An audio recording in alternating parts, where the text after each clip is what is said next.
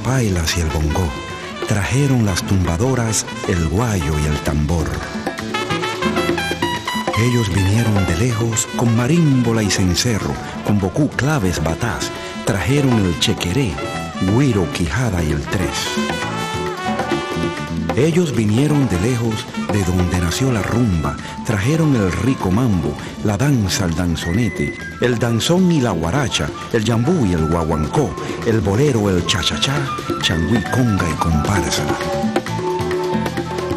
Ellos vinieron de lejos, de donde nació el son, el zapateo y la trova, la guajira y el pilón. De allí vino el montuno, el iyesá, el bantú, la columbia, el arará, el yambú y el lavacuá.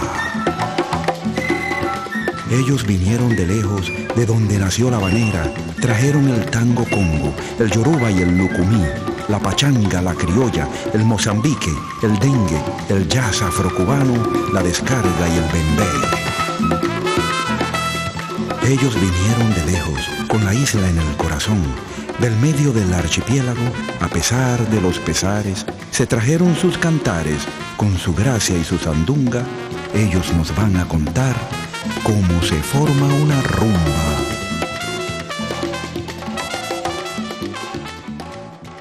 Esta noche vamos a ver un espectáculo que aquí no se veía, a no ser que hubiera venido el conjunto folclórico antes cuando venía, porque tampoco ahora lo trajo, que se trata sobre una religión secreta de Cuba que se llama Abacuá.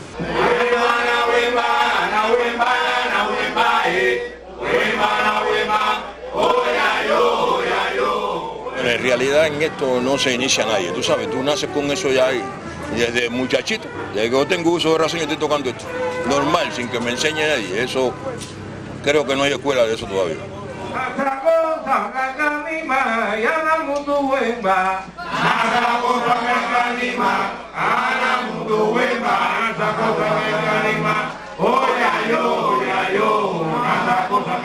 La religión en sí es secreta.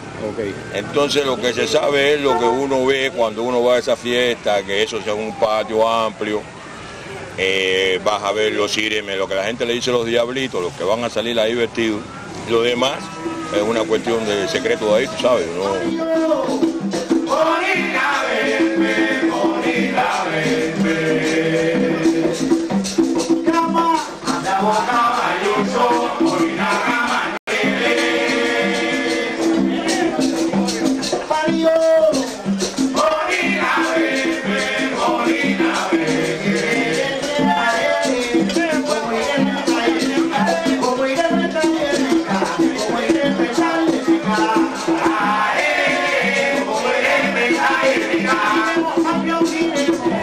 Movimiento Bacúa surge en Cuba en el siglo XIX.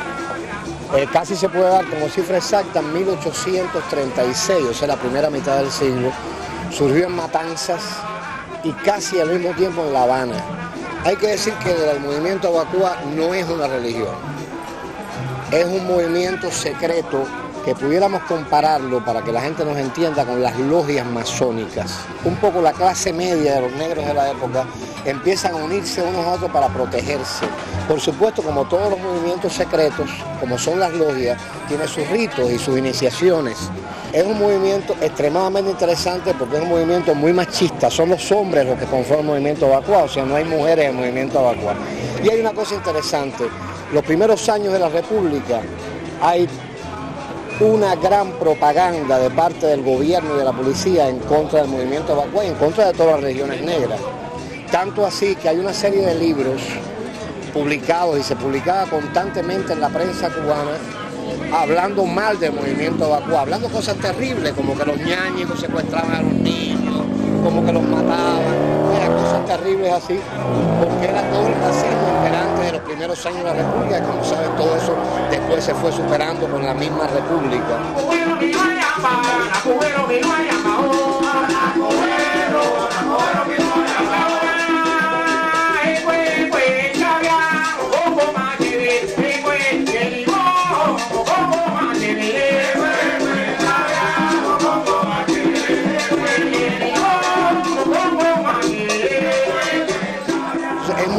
Interesante que hay un momento dado en que empiezan a entrar también blancos el movimiento evacuado. Mira, aquí hay un hombre que está cerca de mí en este momento que se llama Águedo Valdés Luna. Águedo, que yo quiero que tú nos hables, Águedo, del momento en que los blancos comienzan a entrar en el movimiento evacuado, o sea, las pugnas que hubo en el movimiento evacuado cuando comenzaron a entrar los blancos el movimiento. Lo que acaba de decir Armando, los blancos empezaron a entrar en el movimiento evacuado, la sociedad secreta evacuada, como verdaderamente se llama, en el mismo siglo XIX. Andrés Petit era un señor que era negro, fino, muy educado, criado con los curas franciscanos, siendo un hombre visionario y mirando que podía peligrar la religión, hizo posible que los blancos entraran en la religión. Esto trajo, por supuesto, muchos problemas dentro de la sociedad secreta evacuada, porque muchos evacuados de cuna pues estaban en contra de que se juraran blancos.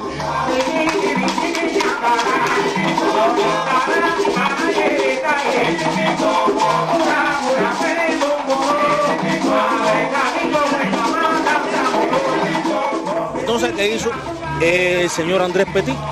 Bueno, siendo una persona visionaria, dijo, yo tengo que tratar de jurar blancos adinerados que sean una gente de prestigio dentro de la sociedad colonialista que se vive y que con esto las autoridades españolas bueno, se vean un poco impresionadas porque hay blancos pudientes dentro de la sociedad secreta Y así surgió que entraron muchos condes, eh, marqueses, gente acaudalada, terratenientes dentro de la sociedad secreta vacua y eso trajo como consecuencia que hasta nuestros días subsistiera la sociedad secreta vacua.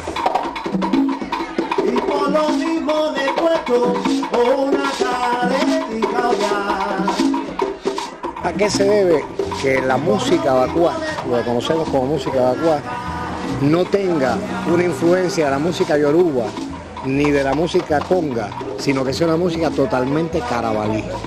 Siendo los brícamos o carabalíes del mismo país donde surge la música yoruba, ya la conga es un poco más extendida, que es la zona de Nigeria, en el sudeste de Nigeria, entre los países de Biafra y Camerún, los EFIC y los EFOC estaban divididos por un río. Entonces todo aquel que no fuera, que no estuviera dentro de estas tribus EFIC o EFOC, simplemente no pudiera estar dentro de lo que es lo que se llamó la sociedad secreta vacua. Era una sociedad cerrada, se puede decir que era una sociedad cerrada donde no permitía que, había, que hubiera permeabilidad, unión con otras tribus que no fueran de su misma manera de pensar. La música vacua eh, tiene una gran influencia dentro de lo que es la música popular cubana, puesto que es una música con un lirismo extraordinario, una música con una ritmicidad muy grande, como toda la música que nos viene de África, y un misticismo extraordinario también.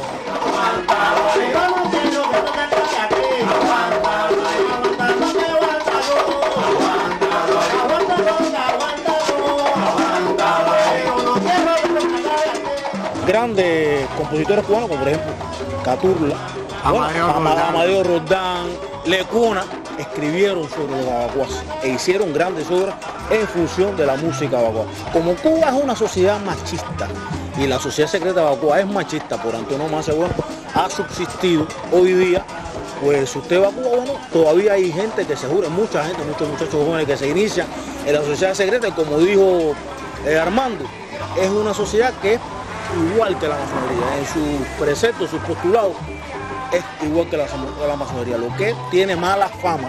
O sea que el agua formado parte también de, la forma de vivir de cubano, ha bailado, ha rumbeado, ha participado en guerras independentistas dentro del país, bueno, es una persona igual que otra cualquiera. Todo lo malo que hayan podido hablar de los abacuaces no tiene razón de ser.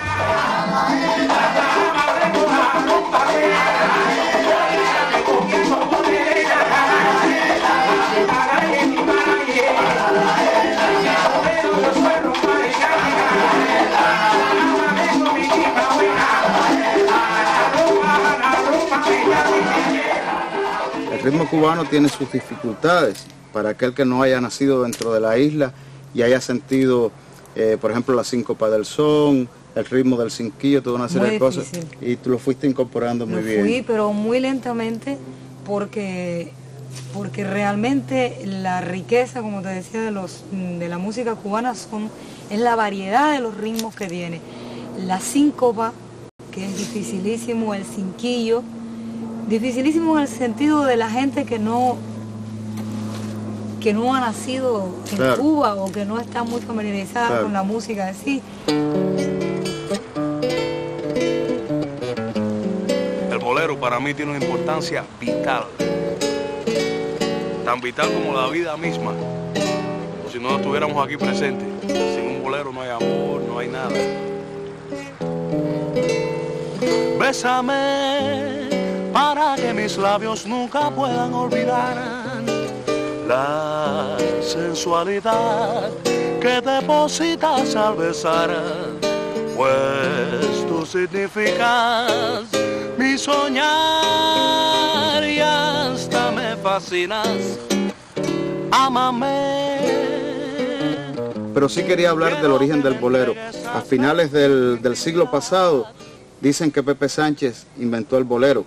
Yo no creo que nadie haya podido inventar un género como tal, sencillamente él fue quizás el que resumió todo un entorno que había alrededor y pudo pues definir él quizá una, una obra, una canción que la gente dio a conocer como el bolero y que no tiene nada que ver si vamos a ver con el bolero español, son cosas completamente, distintas, ¿no? Soy muy tuyo. Dios dice de la gloria.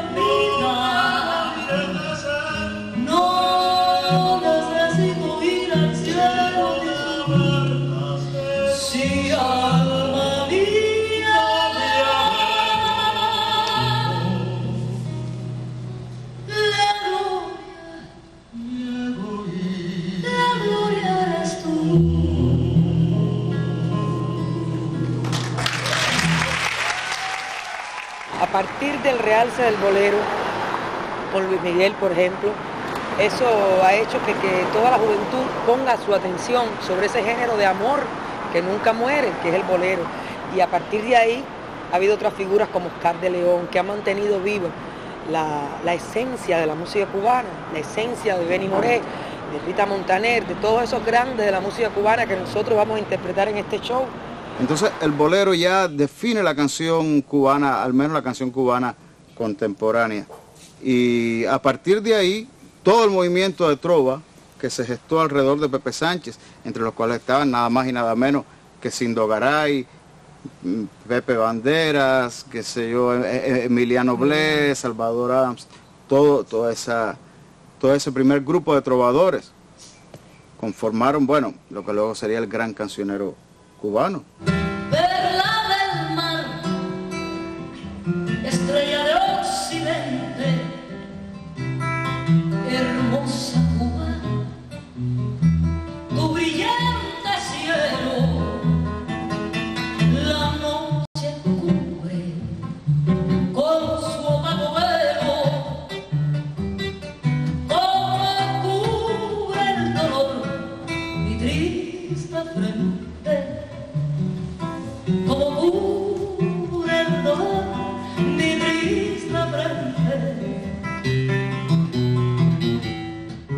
la trova como tal eh, ha sido siempre una de las columnas que ha mantenido a la música cubana, al cancionero cubano.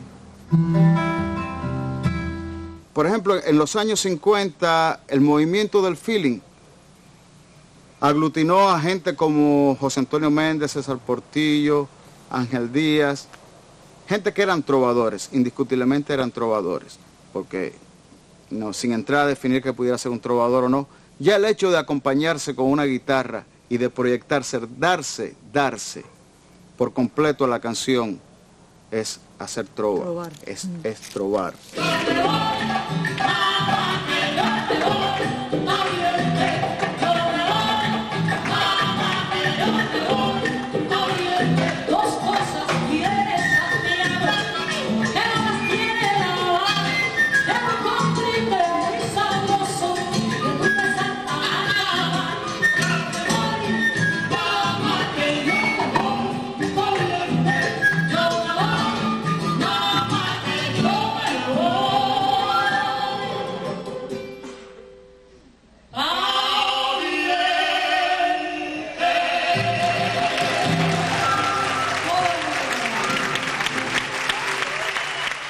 Los años 60 surge el movimiento de la nueva trova, que es otro ángulo, otra, otra perspectiva, sobre todo en la poética y en la incorporación de otros elementos universales de la música.